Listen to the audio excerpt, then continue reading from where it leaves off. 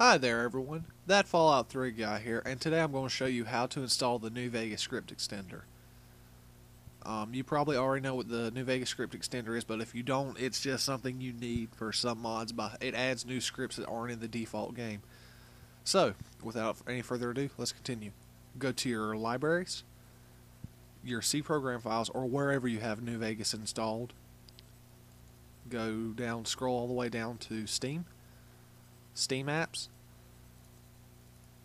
Common, Fallout New Vegas. Now this is where it's going to have to go. To use seven seven zip or any other thing you have, whatever you have, WinRAR, whatever.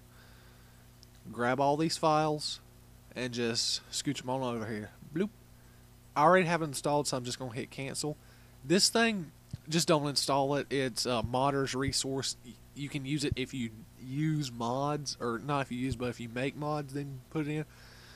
But if you're just using mods other people make, then there's no need for it. And that's it. It's a really simple, easy to do process. And not that long, be sure to hit subscribe, you know.